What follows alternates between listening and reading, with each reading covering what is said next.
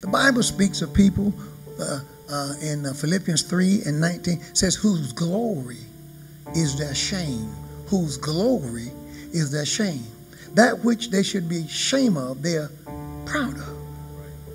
And the only thing about that pride is Proverbs 6 and 17 tells us that pride goes before destruction.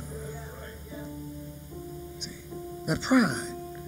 They are following a path that will destroy them. Somebody says something bad is going to happen. Well, I hold that something bad has happened. Look at look at uh, Romans chapter number one, verse 26. Look at judgment. For this cause God gave them up to vile affection. That's judgment.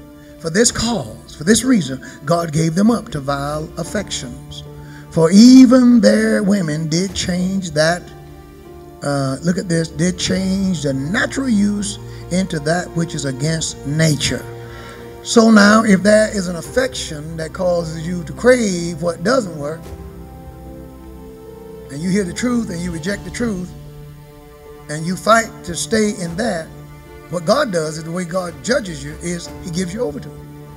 He's okay, you can do this now, and guess what? There'll be no conviction, no nothing. You'll be able to be uh, with people in public. You'll be able to participate in parades. You'll be able to marry a member of the same sex. You you can just parade your love and declare it, and people and you and you don't even feel bad about it. As a matter of fact, you feel free. It's judgment.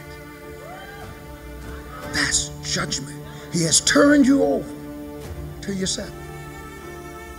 You you were better off when you were struggling. You, you were better off when what the preacher said to you mattered. Now you're in a place where, well, all the, the Christians, they can just go, go, go down yonder.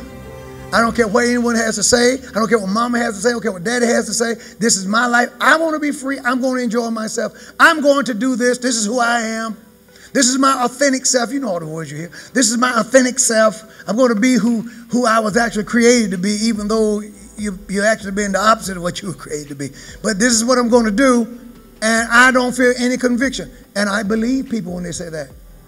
But what it, but what it tells me is that God has passed judgment. And when God passes judgment, conviction is no longer there. Only, we're only convicted when the Holy Spirit tug at our heart. The Holy Spirit brings conviction. The Bible speaks of having your conscience seared with a hot iron. A seared conscience is a conscience that no longer works. The conscience to the human being is the warning system of an airplane. When a plane is going down, the, the, the system comes on and says, pull up, pull up, pull up, pull up, pull up, pull up. And the pilot is alerted and he can pull up and level that plane back up. Yeah, some of us have lost that warning system. Nothing is saying anything. Nothing is saying go home. Nothing is saying you know you're wrong. Nothing is saying this is not right. It used to. You used to hear it. You used to be convicted about it. You don't hear that anymore. You know what has happened to you? God's passed judgment. You need to pray, Lord, please let me feel bad about this again. Because if you don't feel bad about a thing, you won't re repent for it. If you don't repent, you won't be delivered.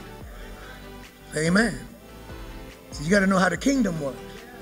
Well, I don't have a problem with any of myself. That's judgment.